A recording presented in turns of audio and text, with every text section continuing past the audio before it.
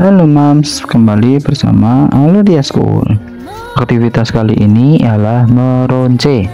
Meronce huruf adalah aktivitas yang menyenangkan dan bermanfaat. Pertama, aktivitas ini membantu pengembangan motorik halus anak. Saat meronce, anak menggunakan keterampilan tangan mereka yang sangat penting untuk perkembangan fisik. Selain itu, meronce juga merupakan cara yang efektif untuk mengenalkan huruf-huruf alfabet. Dengan cara ini, anak bisa lebih mudah mengenali dan membedakan huruf dengan suasana yang ceria.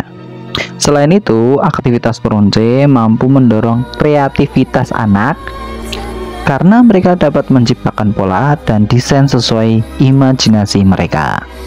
Melalui aktivitas ini, anak juga belajar berinteraksi, melatih fokus, meningkatkan konsentrasi dan memori yang merupakan dasar penting dalam proses belajar membaca dan menulis.